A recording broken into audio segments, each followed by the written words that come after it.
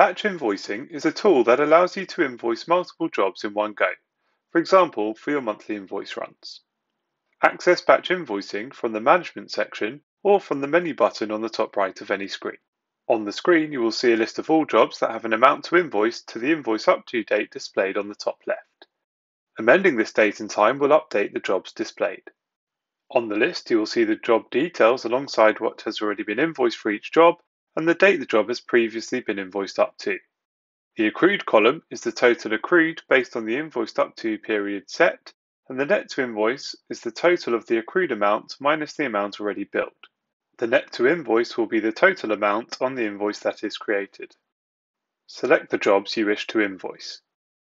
Then click on Issue Invoices. If the status is left as approved, the invoices will be created with each invoice being allocated its own invoice number. Alternatively, amend the status to draft or awaiting approval if you wish to subsequently go through and approve the invoices. Use the aggregated option if you prefer to group invoices by nominal code rather than invoicing each line item. Press Save to issue the invoices.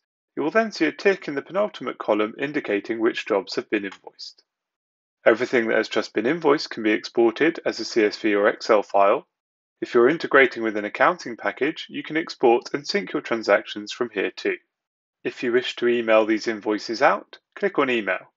You don't need to enter the recipient email address as this will be taken from the contact on the job. Merge the invoice template. Pressing Send will send a separate email to each client for each job invoiced. Opening up one of the jobs, we can see the invoice created in the Billing tab and we can see the email sent in the Emails tab.